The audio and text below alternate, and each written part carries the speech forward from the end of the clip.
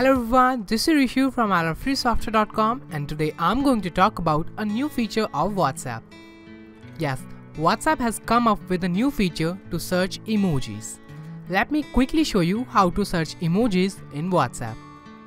To use this feature, all you need to do is get WhatsApp beta and update it. To get the beta version of WhatsApp, go to Play Store and open WhatsApp.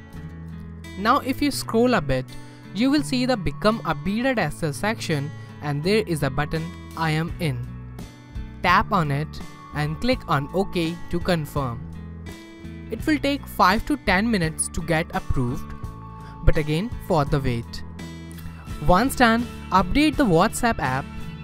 Cool. Open WhatsApp and open any conversation. Now if you tap on emoji, you will also see a search icon. Tap on it and search any emoji. Me search hand. Here are the suggestions.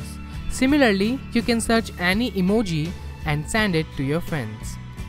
That's it. This is how you can search emojis in WhatsApp.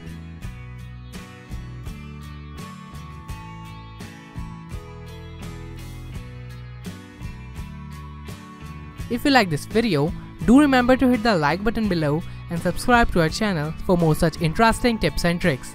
Bye for now.